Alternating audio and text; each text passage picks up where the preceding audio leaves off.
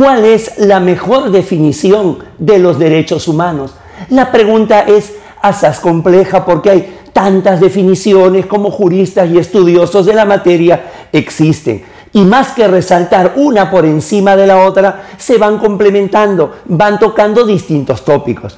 Sin embargo, para no sustraernos de las preguntas, nosotros desde hace muchos años nos quedamos con una definición a nuestro criterio insuperable, la de Antonio Enrique Pérez Luño, que hiciera en 1998 y que es la siguiente. Él sostiene, los derechos humanos son un conjunto de facultades e instituciones que, en cada momento histórico concretan las exigencias de la dignidad, la libertad y la igualdad humana, las cuales deben ser reconocidas positivamente por los ordenamientos jurídicos a nivel nacional e internacional.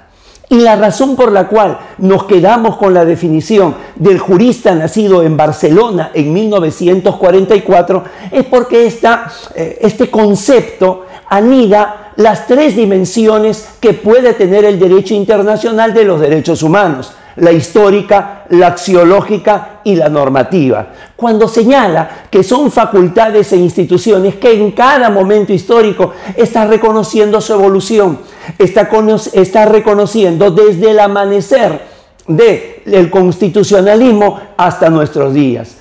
Luego, señala que responden y concretan las exigencias de la dignidad, la libertad y la igualdad humana. Le está dando la dimensión axiológica que, si bien es cierto, pueden hacer esto desde finales del siglo XVIII, es luego de la Segunda Guerra Mundial y luego de los juicios de Nuremberg que se establece la necesidad de este punto. Y cuando nos finalmente concluye señalando que deben ser reconocidos en los ordenamientos nacionales e internacionales, le da la dimensión normativa. Si bien es cierto, hay un principio del derecho internacional de los derechos humanos que habla de la trascendencia de la norma positiva por cultura, por una cuestión, si se quiere, de seguridad y hasta de docencia en este ámbito, de derechos humanos y derechos fundamentales, es necesaria una dimensión normativa.